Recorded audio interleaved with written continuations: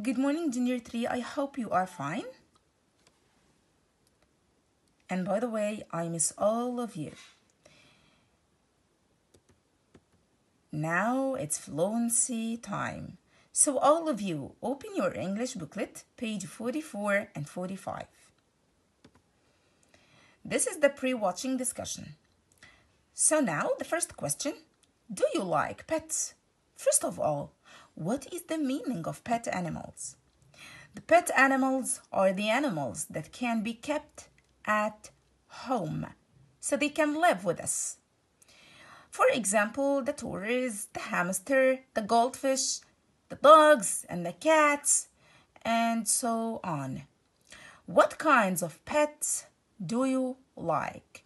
For me, Miss Nisma, I like the tourists, the hamster, and the goldfish. Now, let's watch the video together.